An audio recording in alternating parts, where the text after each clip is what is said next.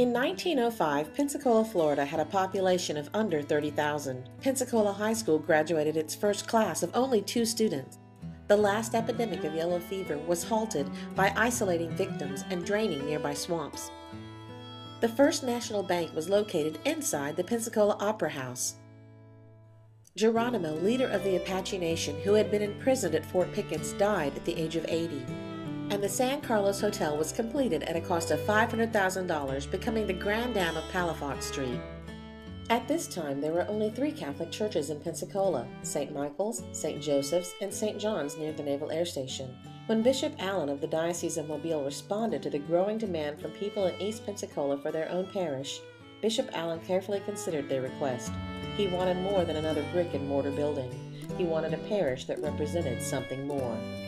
It had only been a few years since on June 11, 1899, Pope Leo XIII solemnly consecrated all humankind to the care of the Sacred Heart of Jesus.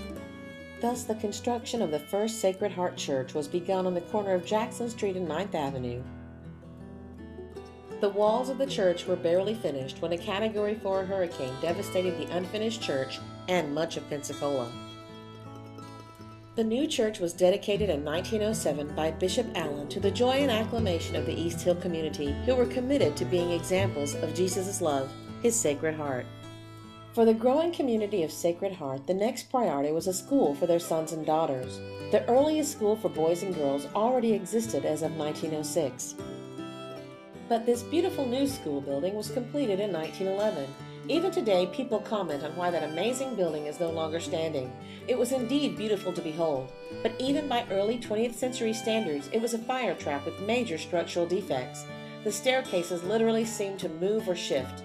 The building, so beautiful on the outside, had to be taken down, but the education of Sacred Heart students would continue.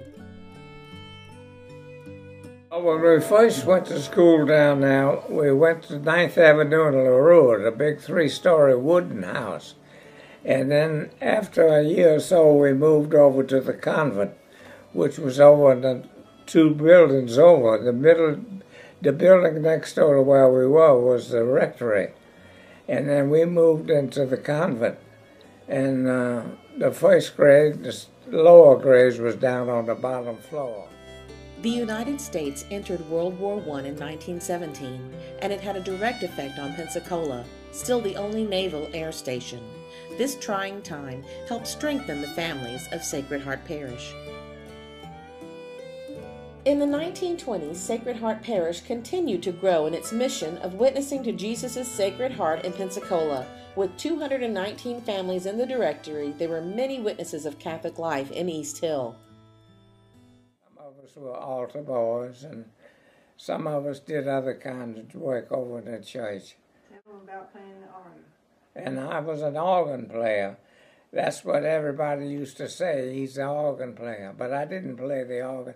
My mother played the organ, but I pumped it. And she would always say, We're going to church and you can play the organ. That meant I had to pump it while she played it. The 1920s brought continued growth to this faith filled community. In 1927, Bishop Thomas J. Toolen became the sixth bishop of Mobile and guided the church in Alabama and Northwest Florida for more than 40 years. Bishop was Bishop Toolen. Mm-hmm. Now, he was an imposing figure. Yes, he was. Like 300 pounds. Uh, mm-hmm. Uh, and uh, I remember we had confirmation one time. And, oh, scary. And he asked everybody questions. I said, if he comes up to me, I'm going to faint. he, he, skipped me with somebody else. Probably Betty Ann. I, I don't know. I was, I, just, I, I was praying. He wouldn't stop me asking me a question.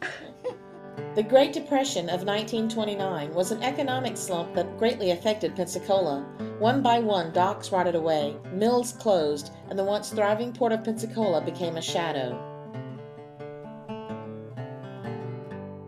By the 1930s, Pensacola was certainly moving forward with the opening of the Santa Rosa Sound Bridge and the Pensacola Bay Bridge. Casino Beach opened and could now be reached by car.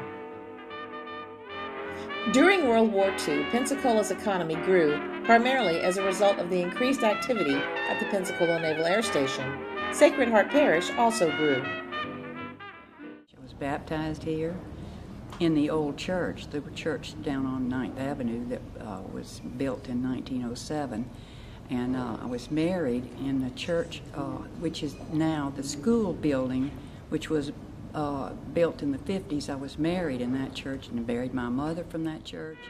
In the fall of 1946, the Sisters of St. Dominic took over Sacred Heart School. By 1947, roof leakage had become an urgent problem in the church. After careful consideration, it was determined that a combined school and church would be the best solution, and it would be built on the new property at 12th Avenue and Mallory Street. It was in the uh, third grade that we walked all the way up to where the new Sacred Heart School is for the dedication, the groundbreaking. And that was a big event for us to get out of school to make that walk that day up there. I remember it being really cold, and I was feeling sorry for the children. It was so cold. Under the direction of Father Daly, groundbreaking for the new church and school complex took place in 1951 on the corner of 12th Avenue and Mallory Street. The complex opened in October 1952.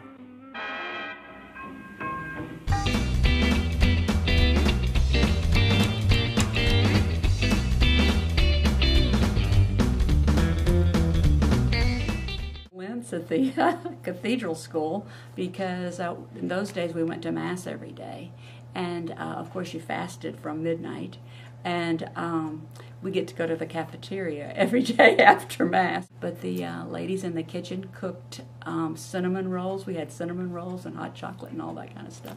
I remember that. Father Daly continued to raise money for a permanent church, and at the time of his death in 1964 had raised $250,000. I grew up in this school, and the gym was the church at the time. Our present day gym was the church. Uh, Monsignor Michael Daly was the pastor, and Father John Bender was the um, his assistant, and did a lot of the footwork. He was a young priest from Maryland and was, had a lot of energy. On May 18, 1967, Archbishop Toolen dedicated the new Sacred Heart Church with the assistance of Pastor Leo Burns it was located on the corner of 12th Avenue and Mallory Street. I've been in this parish all my life, off and on. You know, every time I've been to Pensacola, I was in Sacred Heart Parish. My, my parents and everybody else went here. So, it's great. Yes, it is. The history of Sacred Heart Parish has always included a rich family fellowship, whether participating in a community parade or celebrating a school performance.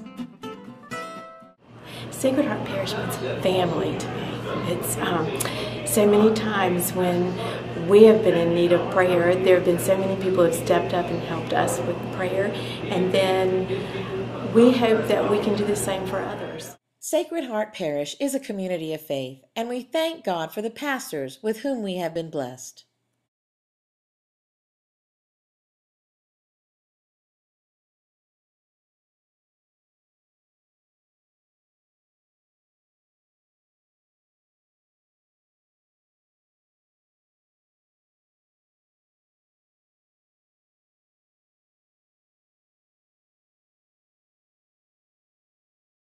Under the direction of Monsignor Reed, the new parish hall and offices were completed in 2003. Between the joy and the trauma of life, I have a, a lot of it has happened in, within this community, so I have a definite connection.